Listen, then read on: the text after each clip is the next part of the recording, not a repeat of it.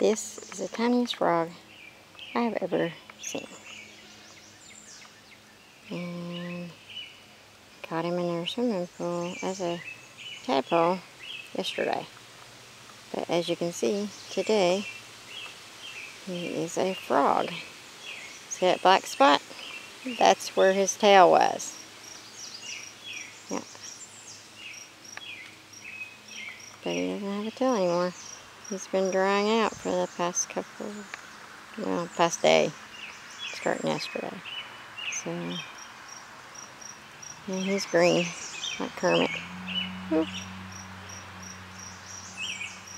He doesn't seem to mind me messing with him too much.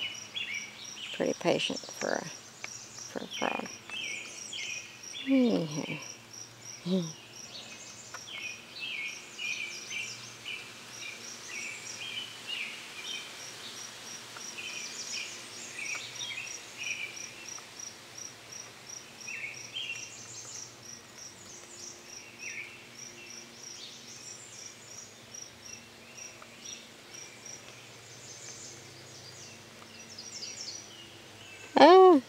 Don't go up my shirt.